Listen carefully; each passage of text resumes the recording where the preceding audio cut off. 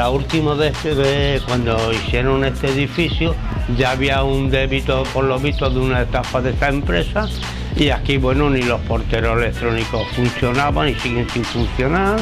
El ascensor se puso y entraba, creo que entra agua por dentro cuando se vaya a usar para por las ventanales que se han puesto entra en algunos aguas también.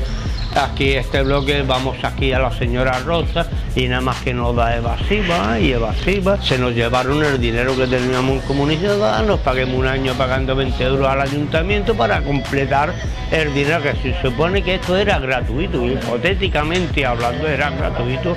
Y ahora resulta que que esto ni gratuito, ni con dinero, ni con nada. Nos quedamos sin nada, estamos pagando todos los meses, se nos niega el derecho a que podamos subir, que en este persona, bloque hay muchas personas mayores. Y veráis, ve una persona ahí en el cuarto pues una mujer que tendrá cuarenta y tantos años porque es más joven que yo, iba con unas muletas andando y para bajar baja una vez a la semana porque esa mujer está muy mal de la huesos y no puede subir. Ahora podría traer un ascensor y no te tienen que bajar los escalones. Yo como estoy, cada golpe que me da la columna, en que me esté muriendo de los pulmones, me veo así. Ellos dicen que es una estafa. A nosotros no nos importa la estafa, por lo cual nosotros nos sentimos estafados por el ayuntamiento.